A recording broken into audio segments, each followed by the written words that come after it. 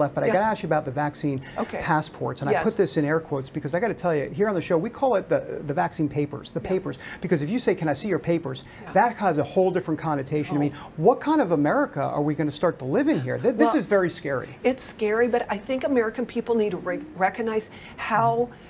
Much fear can motivate you. It can motivate you maybe to do something good, but to do something bad.